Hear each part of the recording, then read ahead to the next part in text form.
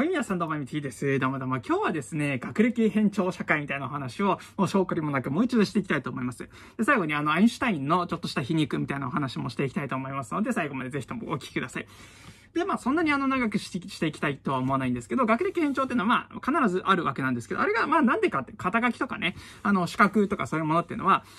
まあ、どういう意味があるのかって言うと、まあ、社会的な、一般社会的な、通俗的な意味で言うと、まあ、それなりにはあるわけですよね。だって、どこの馬の骨だかわかんない人と付き合いたくないし、例えば、まあ、普通に就職なんか、もしくは、あの、採用側の観点からすれば、それは今までの努力はどういうものなのかって、一番手っ取り早い判断なわけですよ。まあ、そういう意味で、まあ、教育というものが、まあ、人選びに出しているのではないかみたいな動画を、まあ、先日出してましたけれども、まあ、それはある種仕方のないところですよね。そもそもみんながみんな学問やりたいわけじゃない。だけれども、その社会通過儀礼として、その学問をやってきたか、どうういうものをやってきたのか、何か真剣に打ち込めるその、の知的能力があるのかみたいなことを簡単に判断できるのってやっぱり学問を、の、なんか壁を越えてきたかみたいなことがあったりして、それはまあ一つのとてもいい判断材料なわけですよ。だからこそまあ学歴とか、まあそういう肩書きとか資格っていうのはまあ重宝されるわけです。まあ実際社会運営、運用上、そしてその人の個人の能力としても、まあそういう処理能力、事務的処理能力とか、抽象思考ができるかどうか、そして粘りがあるか、何か一つのことを考えるだけの能力があるかっていうことは、とても、そのための判断材料としてとてもいいわけですね。学歴とかそういうものっていうのは。だけどですね、一方でこれがまあちょっとこじれていて、いわゆる学歴中みたいな人とかがいたりするわけですよ。いわゆるその、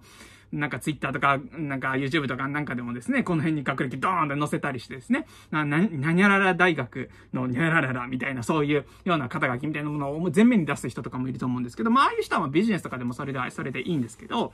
一方でですね、私生活の範疇とか、まあ、あの、なんちゅうか、そういうのに限らず、ちょっと、上から目線というか、圧力を出してくる人とかもいるわけです。学歴とかによって、その、虎の意欲ある狐と言ってしまいますけれども、そういう人とかもいるわけですよ。で、彼らの精神状態は、まあどういうものかってよく言われるのは、自分を自分で褒めたいというか、そういう過去の自分の業績とか、努力してきたことを自分で自分に説得しているような感覚があるわけですよ。それはあの、大変だったでしょうよ。そのたくさんの学歴を、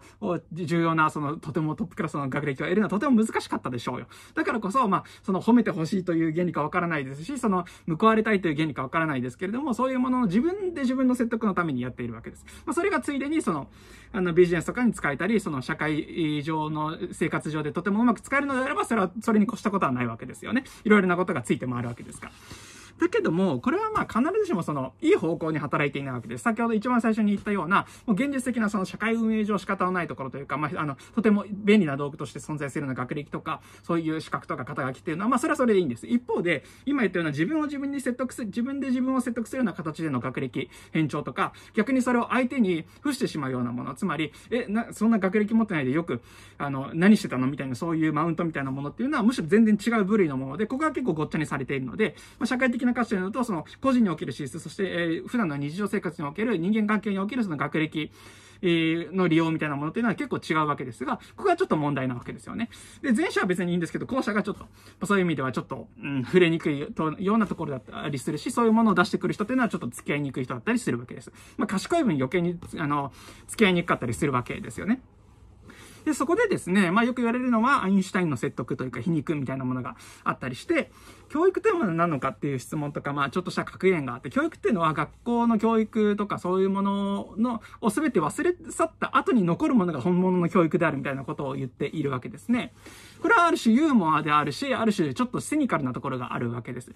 どういうことかというと、まあ、一般社会において、そう、多分昔からそうなんですよ。アインシュタインが生きていた時代からそうで、その学歴みたいなものも昔からあるわけですよね。社会階層は結構離れていたりするのは、今より、まあ、向こうの西洋とかでは結構、やっぱりどうしても差ができてしまいます。いわゆる知的特権階級みたいなものですよね。特に昔は、あの、宗教とか、あと大学の権威っていうのが、まあ、もっぱら強いところですから、そういうところを出てしまったりすると、一般社会においてその学問を直接使うにしろ、使わないにしろ、そういうものでちょっとマウント取るという、まあ、今の日本語っぽく言えばマウント取る人とかもいたりするわけ。ですよ。でも実際やってることは別に学問ではないということになると、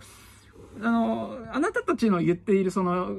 学歴とかそういうもの、知恵っていうのは、別に、あの、もう一切忘れてくれていいよと。で、その先にあるような知識とか、あの、教育とか自分の頭で考える能力ってものが本当に問われているんであって、学校を出てしまえばそういうものは全て忘れ去っていいものだと。そういうものを忘れて差し引いて考えたものが本当の教育であって、そこを抜けてないうちはあなたたちは三流ですよみたいなことをちょっとセニカルに言ってるわけですよ。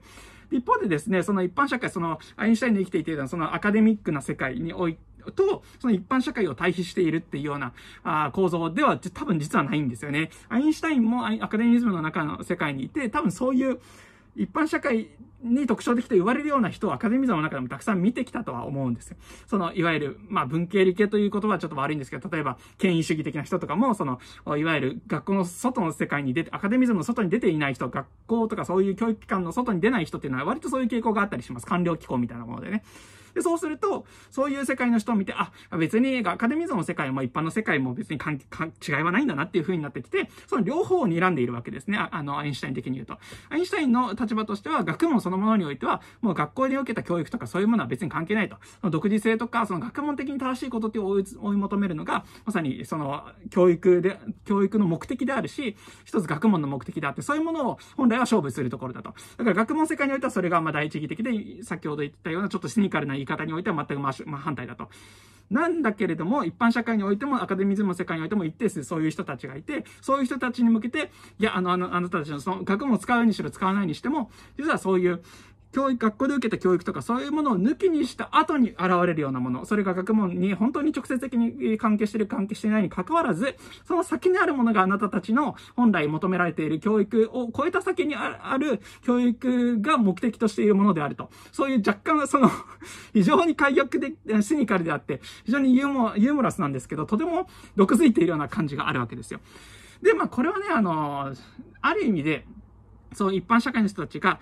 が、ちょっと自分たちで多分気づいているでしょっていうようなことまでも多分、多分意識しているんです。つまり、その、なぜ肩書きとか勉強とかそういう学校のなんか教育で受けたものを肩にかける、あの、鼻にかけるかっていうと、それが自分の中で空虚であるということが、多分本人たちは自覚しているからなんです。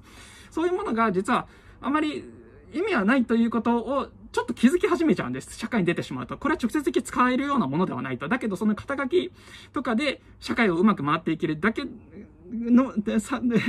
で、回っていけるのはとても重要なことだ、ことであるということにちょっと気づいてしまったりするわけですね。だからこそ、なおのこと一層、そういうものを型にかけてうまく回っていこうだとか、そういうもの、空気のものにすがってしまうと。そうじゃないと、今まで自分が苦散々苦しんできたようなこととか、肩書きとかそういう追い求めて、やっと達成したものが空虚に見えて仕方がない。非常に絶望感を持ってしまうと、虚無感を抱いてしまうということに、若干の恐怖をなんとなく思ってしまうわけです。これは、あの、僕が今こう明示的に言ってしまうと、ちょっとトゲトゲしく聞こえてしまうかもしれないんですけど、なんとなくこういう明言しなくても、まあ、なんとなくそう思いたいという、なんとなくの感覚があるんだろうと思います。そうすると、そういうものを本当に名指しして、アインシュタインはおそらくそういうものを